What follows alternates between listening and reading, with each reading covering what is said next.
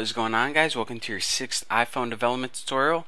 And now that we got all of our code built what we want to do um, is go ahead up to here build and we want to build it.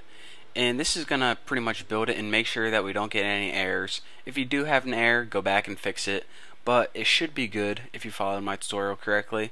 So now as promised now that we got all that tedious work done we can go ahead and jump into Bucky's button view controller or under your resources file, whatever your project name is, viewcontroller.xib, double click that and it'll pop up your interface builder for you. So go ahead and I'm going to arrange everything nice and neat. And now we can go ahead and add all those labels and text to the screen. So the first thing we want to do is add a label to the top of screen, remember. And go ahead and uh, just expand this a little bit. There we go. And you actually want to go ahead and delete this text because remember we're going to have the button's titles pass in whatever the title is and pop up for text. So we don't want anything there by default. Just keep it in the top. So now we have a label a blank label with no text on the top of our screen. So now let's go ahead and add two buttons go ahead and add one right there and go ahead and add another one right there looks good. It really doesn't matter where you add it on your screen. And go ahead and add a title to each of these buttons. Go ahead and you know, double click it by the way to add a title. Uh, set this one to blue and set one this one equal to red. And now go ahead and using your attributes and if you can't find any of these toolbars make sure tools inspector that's where they all are. So go ahead and change the text color of this to well, it already is blue, isn't it? Text color blue and change this text color to uh, red. So now we have blue text and red text. Pretty sweet, huh? And actually, if you click the button and click red, it adds that little red border around it. So now I have a pretty sweet blue button and a pretty sweet red button and a label at the top. So we have three objects on our screen. So what exactly do we do from here?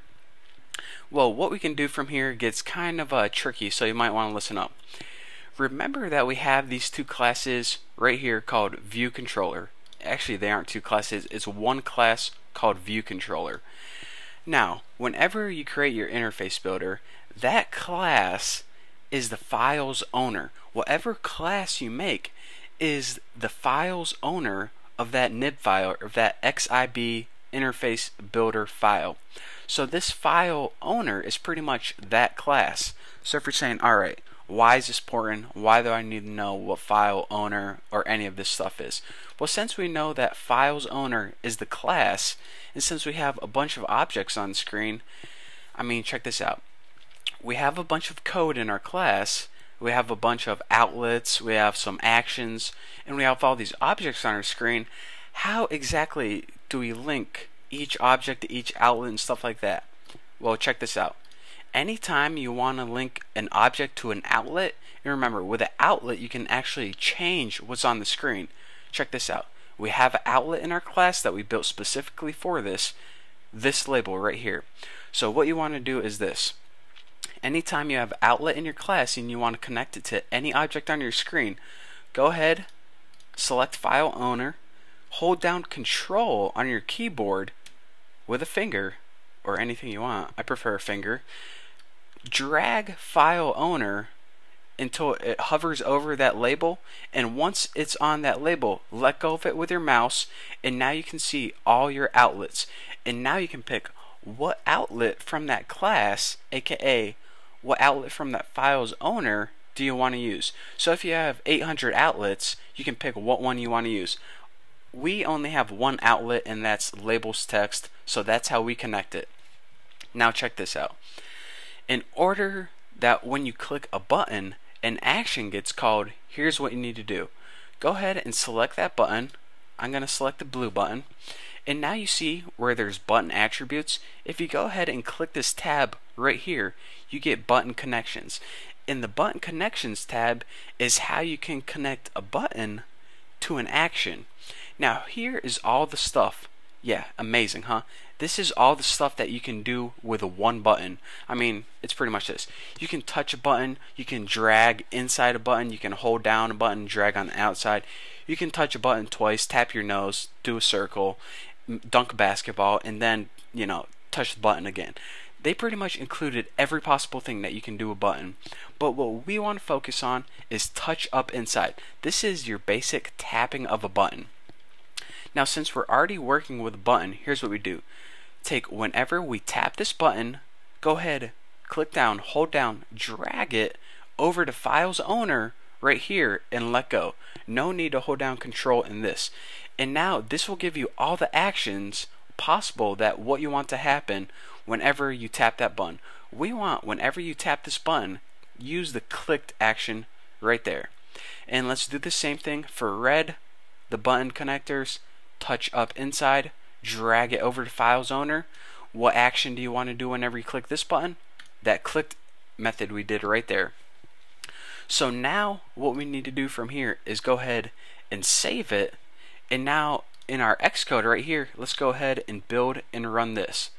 So it pops up and now we go ahead and click blue and blue pops up. We click, not quick, we click red, red pops up. Blue, red, red, blue, bam. That's our program. That's how it works. Pretty sweet. So again, one last time, let me go exit out of this iPhone simulator what we did is whenever we clicked this blue button, what happened? It called this clicked method right here and it passed in blue that blue button as the sender. So we said, all right, we pretty much want to take that blue button in this case and get the title of it and store it in an object called title of button. And now we want to get the new label text from it and pretty much the new label text is equal to the title of the button. And now take that new label and replace it with the old label and then release it when we're done. So get the title of the button, create a new label from it, set the label text equal that label, make sure it prints out on screen, and then release it when we're done. So that's that. That is how you build some simple user interactions. And trust me, by the end of these tutorials, you're going to be a pro. You aren't even going to be thinking about this. It's just going to come so natural and easy to you. This stuff is going to make perfect sense. So uh, thank you guys for watching. Uh, don't forget to subscribe. And if you need any of this source code, click on the link below and I'll send it all to you guys for free. So uh, thanks for watching. Don't forget to subscribe and I'll see you next tutorial.